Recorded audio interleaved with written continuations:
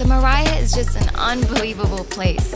It's a cultural oasis, and I've been given an incredible opportunity to pursue my dreams here as the head chef inside its world renowned restaurant.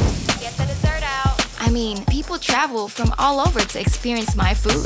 It's a place for fine dining, arts, and events. And it's my home, a reflection of Saudi's culture and beauty.